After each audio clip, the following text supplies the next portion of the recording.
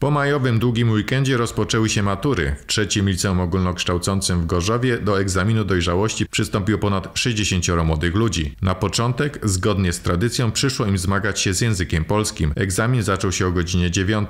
Dwie i pół godziny później pierwsi maturzyści dzielili się swoimi wrażeniami. Było, że tak powiem, e, ciężko, szczególnie z drugim tekstem, ale ogólnie poszło dobrze. Były dziady, także z tego się akurat bardzo cieszę, bo tak przewidywałam.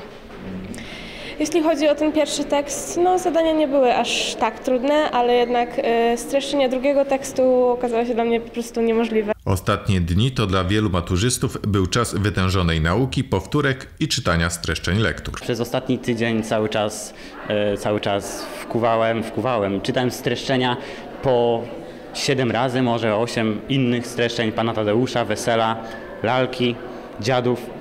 Ferdydurkę zapomniałem, trenów zapomniałem, tam parę e, innych lektur też zapominałem, ale to co najważniejsze, ci te dziady udało mi się zaznajomić i, i napisałem maturę. Przygotowania do tegorocznych matur były utrudnione ze względu na strajk nauczycieli. Młodzież e, pojawiła się już po formalnym zakończeniu roku e, szkolnego i e, część nauczycieli prowadziła jeszcze dodatkowe zajęcia e, 29 i 30 kwietnia. We wtorek maturzystów czeka królowa nauk, czyli matematyka. Egzaminy potrwają do 20 maja. W tym roku w Gorzowie do matur przystąpiło 1276 abiturientów.